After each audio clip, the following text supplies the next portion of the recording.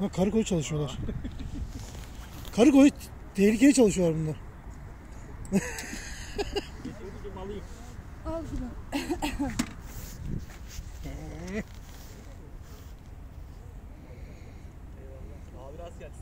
Eyvallah dostum.